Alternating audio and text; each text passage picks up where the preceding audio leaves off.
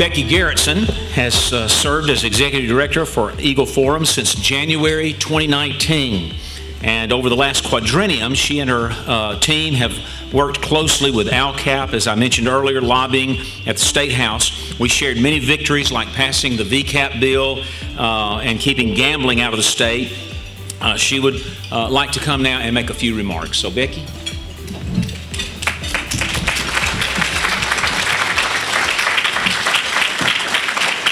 Thank you so much. Um, I really attribute our success to our amazing team at Eagle Forum. God has brought us men and women um, with exceptional talent and dedication.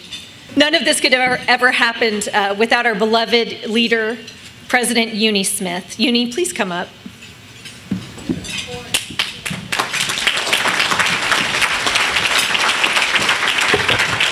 Like to bring um, Jeff Sessions up also.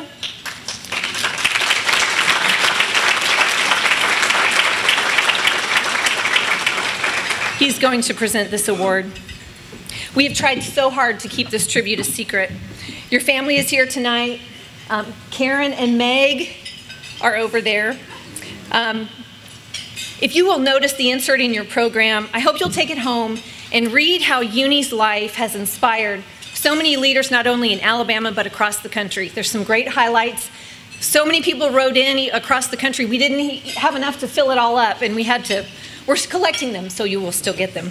But not only is, is uh, Eunie a full time volunteer, she runs circles around many of us.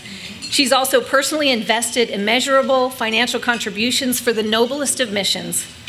For decades, Eunie's impeccable reputation with Alabama governors and legislators has been at the highest level. If she called, they stopped what they were doing to talk to her because they knew that she didn't call unless it was urgent. She always does her exhaustive research, she has her facts together, and her positions are sound and substantial. She provides great counsel to, on a wide range of issues to our elected officials and to our Eagle Forum leaders.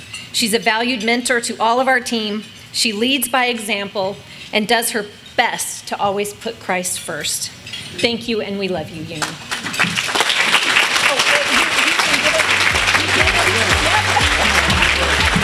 And get your picture. Yep.